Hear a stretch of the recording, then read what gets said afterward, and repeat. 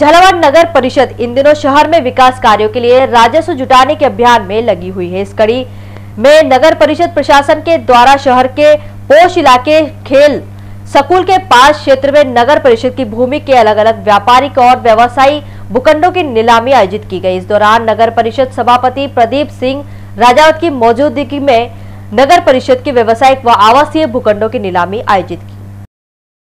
नगर परिषद ने लगभग पंद्रह साल बाद आवासीय कॉलोनी खोली है और तो कुछ कॉमर्शियल प्लॉट भी हैं। इसमें जो लोगों का उत्साह है, वो बढ़ चढ़ कर है। देखने में आया है कि जो हमारी रिज़र्व प्राइस थी, उससे भी डबल रेटों तक भी लोगों ने प्लॉट लिए हैं।